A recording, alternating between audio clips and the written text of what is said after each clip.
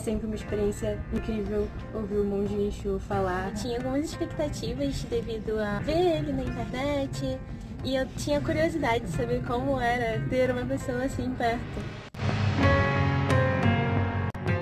Qual é o sentido desta forma de viver? Essa é a pergunta fundamental. Estar aqui com ele compartilhando toda essa experiência magnífica que foi despertar mais um pouco esse processo, que é não só o budismo, mas a vida.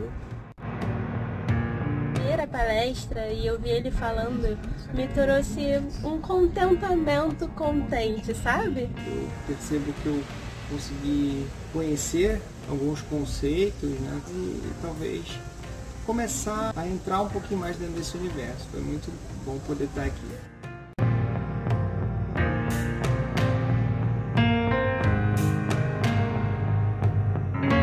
A energia que ele passa presencialmente é indescritível e eu queria muito agradecer os ensinamentos.